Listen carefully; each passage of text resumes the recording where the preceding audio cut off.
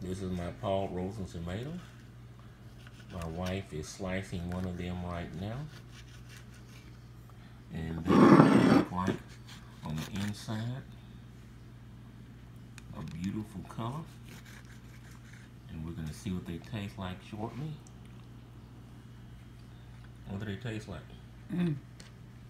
They're good, huh? Pull the oven over there. Let me take a look at it on the, on the put on the video right quick. Then take, and that is one of them right there. Kind of shaped funny, but it's one of the darker colored tomatoes.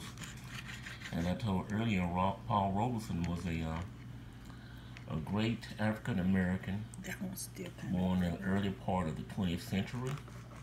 He was a lawyer, an opera singer, professional football player. He got disenchanted with the United States during the uh, 1950s between racism and McCarthyism, and he immigrated to Russia and he stayed there for a little while. And the Russian people loved him.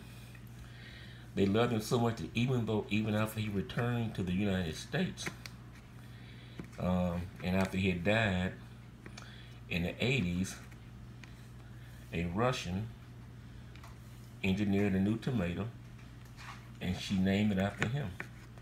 And this is the Paul Robeson tomato. And these are the first ones that we uh, have left ripen. And first ones we've harvested. The first one we've harvested and let them ripen inside the house because we didn't want to fight the squirrels for them. And although our hawks this year have done a good job of keeping the squirrels humble, they are still out there. And let me take a taste of one.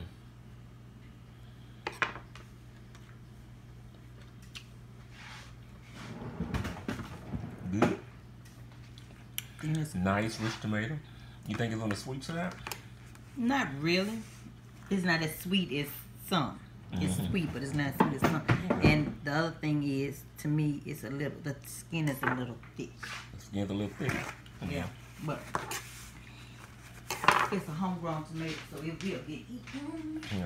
Right I, th I, think it'll be good on a uh, on a tomato sandwich, and I plan on taking mine and making a uh, well, not this one because my wife's gonna eat these two, but soon some more come off, I'm gonna take them, and I'm gonna make myself a sandwich. I like to make a sandwich with tomato, cheese, and bacon and she's putting season all on hers and a little bit of pepper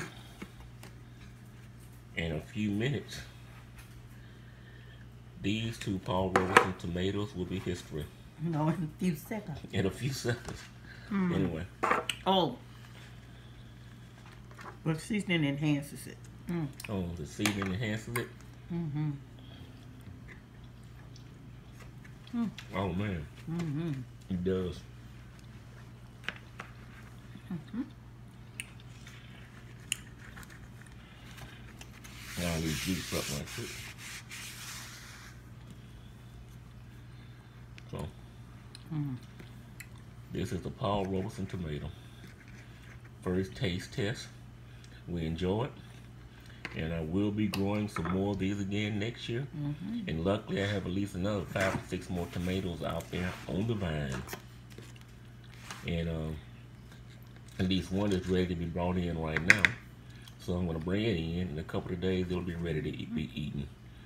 And others will be ready shortly. So, got to get out in the garden and work. Just wanted you all to uh, see these tomatoes. Have a nice day.